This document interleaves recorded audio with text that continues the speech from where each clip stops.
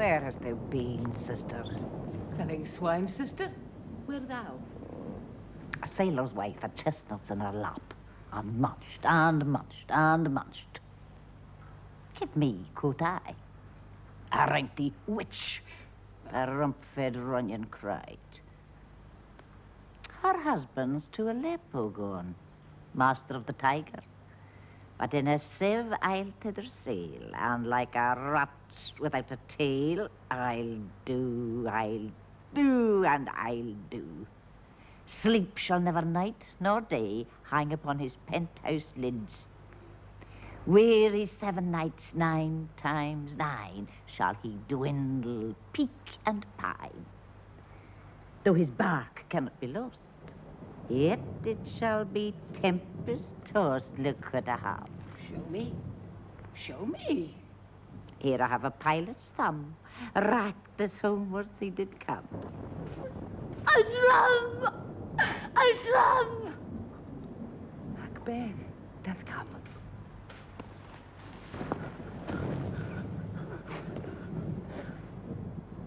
Weird sisters, hand in hand, posters of the sea and land, thus to go about, about, thrice to thine, thrice to mine, thrice again to make up mine. Peace! The charms wound up. So foul and fair a day I have not seen. How far is it called to Forres?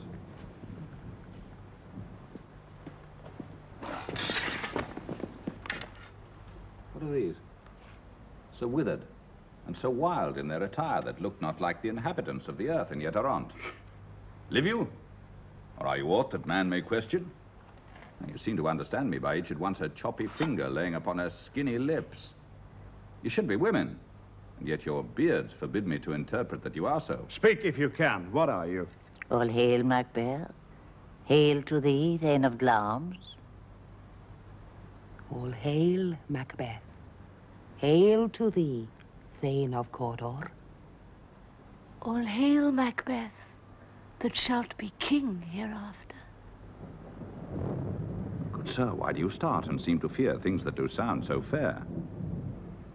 In the name of truth, are you fantastical, or that indeed which outwardly you show? My noble partner you greet with present grace, and great prediction of noble having and of royal hope that he seems rapt withal. To me you speak not. If you can look into the seeds of time and say which grain will grow and which will not, speak then to me, who neither beg nor fear your favors nor your hate. Hail. Hail. Hail. Lesser than Macbeth. And greater. Not so happy. Yet much happier. Thou shalt get kings, though thou be none. So all hail, Macbeth and Banquo.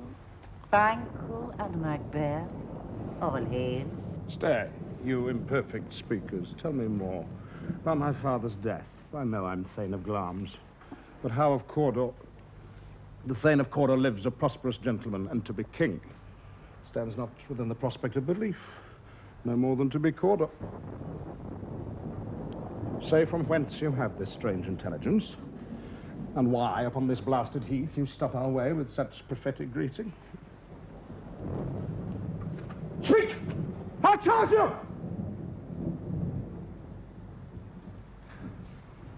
The earth hath bubbles as the water has, and these are of them. Whither? Are they vanished? Into the air, and what seemed corporal melted as breath into the wind. Would they'd stayed. Were such things here as we do speak about, or have we eaten on the insane root that takes the reason prisoner? Your children shall be kings, You shall be king. and Thane of Cawdor, too. Weren't it not so? To the self-same tune and words. Who's here? The king hath happily received, Macbeth, the news of thy success. We are sent to give thee from our royal master. Thanks. and for an earnest of a greater honour, he bade me from him call thee Thane of Cawdor, in which addition hail most worthy Thane, for it is thine. What? Can the devil speak true? The Thane of Cawdor lives. Why do you dress me in borrowed robes? Who was the Thane lives yet, but under heavy judgment bears that life which he deserves to lose.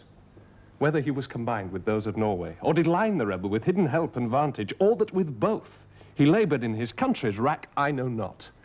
But treason's capital, confessed and proved, have overthrown him.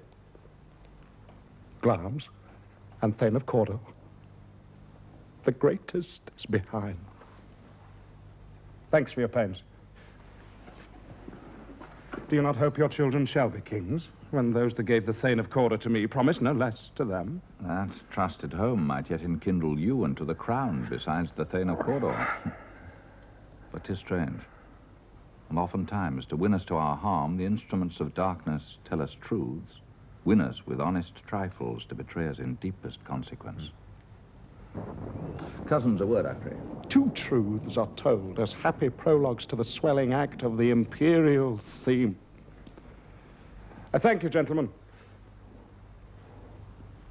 This supernatural soliciting cannot be ill, cannot be good. If ill, why has it given me earnest of success, commencing in a truth? I am Thane of Cawdor. If good, why do I yield to that suggestion whose horrid image doth unfix my hair and make my seated heart knock at my ribs against the use of nature? Present fears are less than horrible imaginings.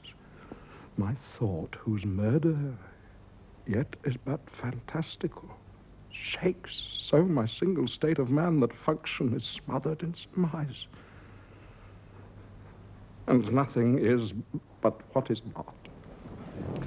Look, our partner's rapt. If chance will have me king, why chance may crown me. Without my stir. New honors come upon him like our strange garments, cleave not to their mold, but with the aid of use. Come what, come may. Time and the hour runs through the roughest day. Worthy Macbeth, we stay upon your leisure. Give me your favor. My dull brain was wrought with things forgotten. Kind gentlemen, your pains are registered where every day I turn the leaf to read them. Let's talk the king. Think upon what hath chanced.